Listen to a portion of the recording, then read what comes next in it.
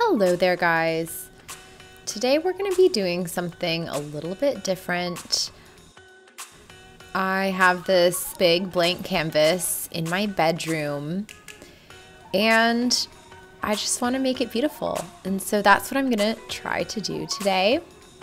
And for this project, I'm going to be using these big Arteza acrylic paints. It's basically filled with just the primary colors, but then it also has a couple of fun surprises like gold and silver and stuff like that. Each of these tubes is four ounces, and so it is significantly more than just a little tube of paint. So I am using Mars Black. And then I'm just using a towel, and I have this big thing of water.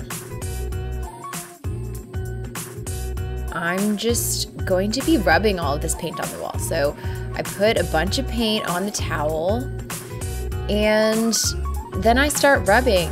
And I will admit that I had no idea what I was doing and I did absolutely no research before I did this project. I just completely went with my gut on this one.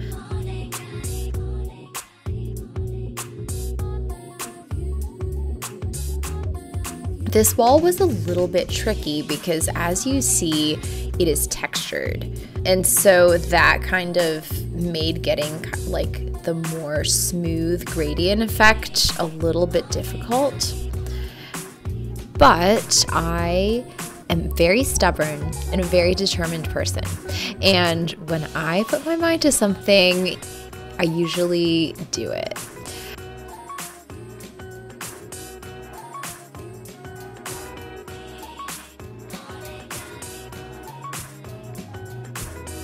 The challenge here was was just kind of getting all of the paint in the little nooks and crannies.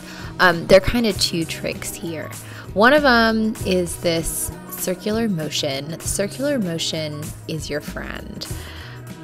And then the other one is just using a good bit of water for coverage and then doing a couple of layers.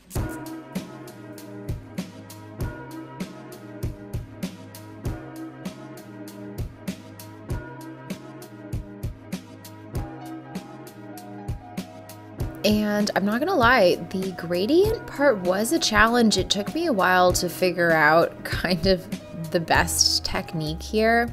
And what I ended up doing is I ended up introducing another towel into the mix.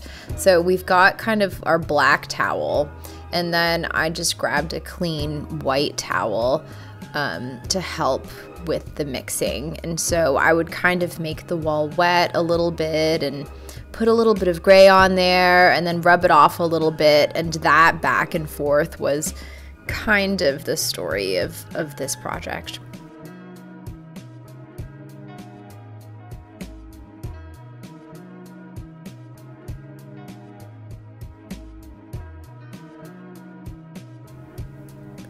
Of course, I had to consult Pierre to see what he thought, and he didn't really have an opinion. In fact, he didn't really care at all.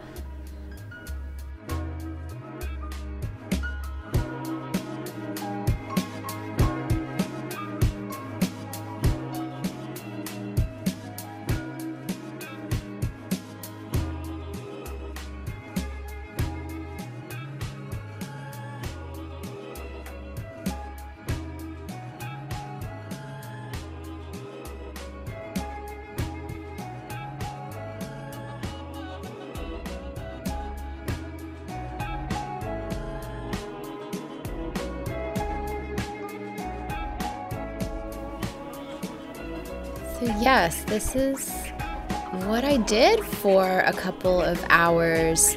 Um, I would say, all in all, I probably painted straight for, I would say, about two hours. I would say that the painting part took me about two hours. Um, the filming always takes so so much longer, actually. Um, but the painting wasn't too bad. Um, it took a little patience. I had to let some bits dry, especially when you start to get the wall wet. um, you start to kind of rub the paint underneath. And so I did some some letting it dry and I did a lot of standing back and seeing what was actually happening. With these kind of projects, I really do feel like not getting too attached to your original vision is kind of the best way. That might actually be the case with almost everything creative, actually.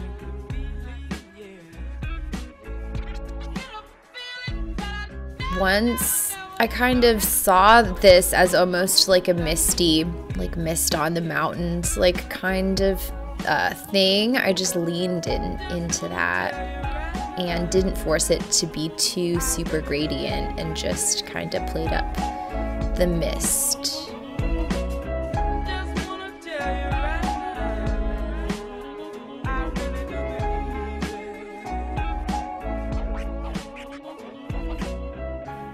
And it's really not that difficult. If you have a wall, um, you know, it, it, takes a couple hours and you can transform it into something um, pretty fun.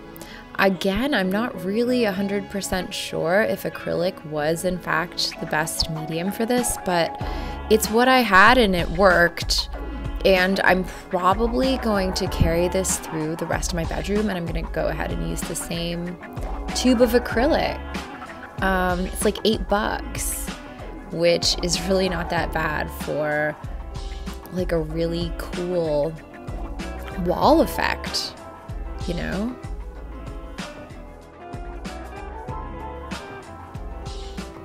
So you can see what it looks like up close. It actually looks better in person even than on camera, I think. looks just like a bit smoother and more interesting.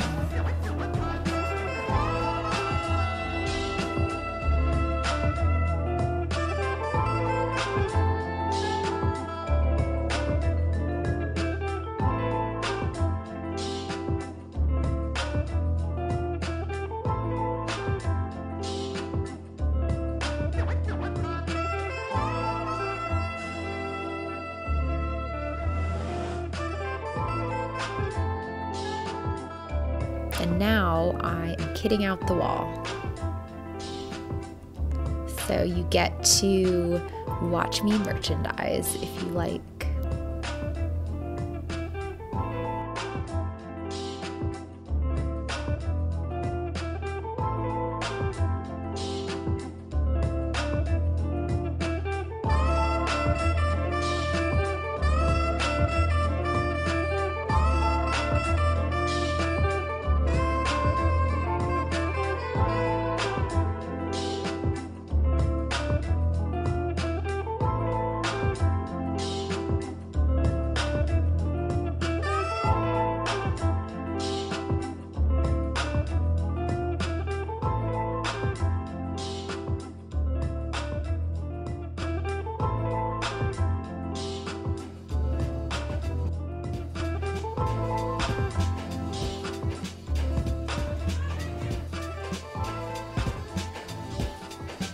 And voila, here we have it.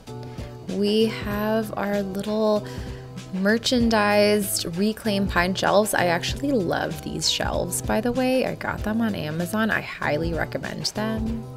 Then we just have like kind of fun mix of plants and trinkets and fabulous shoes and inspiring artsy stuff and an aquaba. Accessories.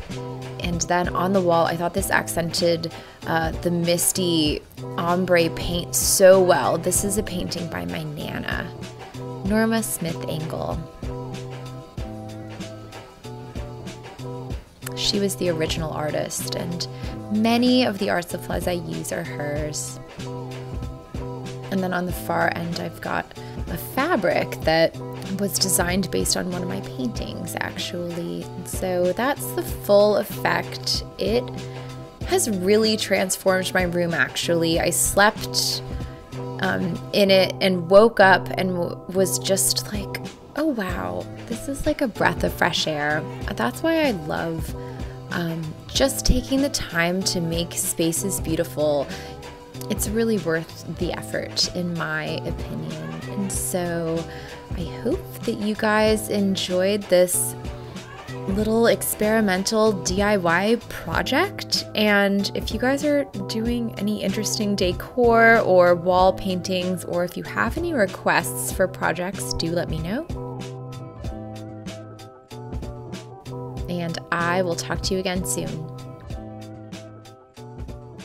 TTFN.